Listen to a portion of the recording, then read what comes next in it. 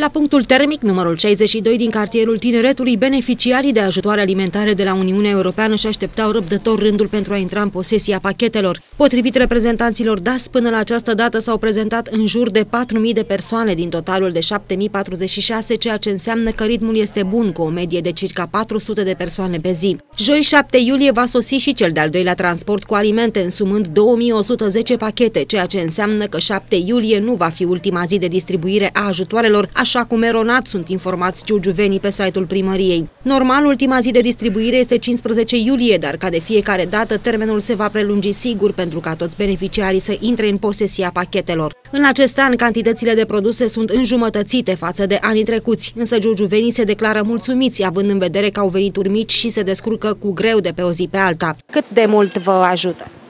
Depinde acum, limita posibilități.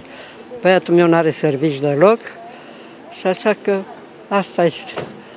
Cât uh, îi dă, atât mănâncă. Îl mai ținem așa. Da. Sunt binevenite? Vă ajută? Este. Cât de cât acolo. Un kil, două de ulei sau tu mai și aici, nu știu. Da. Ne ajută cât de cât. Pentru că suntem pensionari și... Na, e mai greu ca pensionar. Ați luat în fiecare an? Da, da, da. Am ieșit la pensie uh, de 2 ani și am luat și anul trecut. Și sunteți mulțumită de produse? Uh, da, deocamdată nu știu ce sunt acolo, dar cred că da. Dacă e ulei, zahăr, păină, astea merge.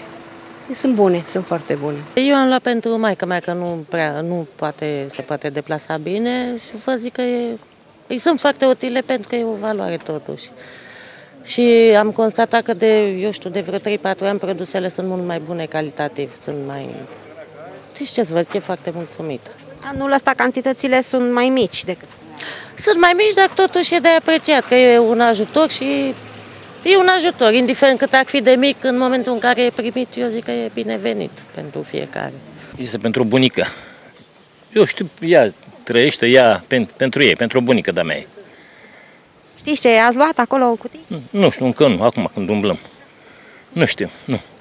M-a rugat că nu poate veni, nu se poate deplasa și hai că mă duc eu să-ți iau ce mai de acolo. Fiecare beneficiar are dreptul la două pachete cu alimente care conțin un kilogram de orez, un kilogram de făină, unul de zahăr, două de mălai, 500 de grame de fasole, 400 de grame de paste făinoase, 2 litri de ulei, o conservă de pate de porc, o conservă de paste de tomate și una din carne de vită.